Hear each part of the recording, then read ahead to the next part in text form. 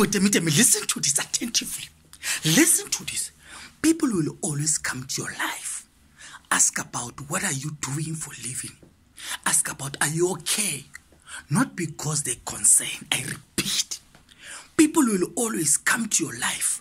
Ask about what are you doing for a living? Are you okay?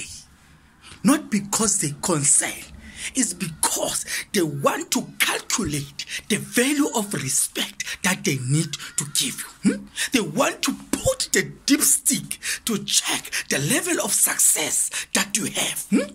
They want to put some something hmm, to check if you're okay. Hmm? Some lizard coming. They want to check if you're okay. Not because they are concerned. Some reptiles, they are coming in your life to ask if you're okay. Not because they're concerned or they want to help, because they want to calculate the value of respect.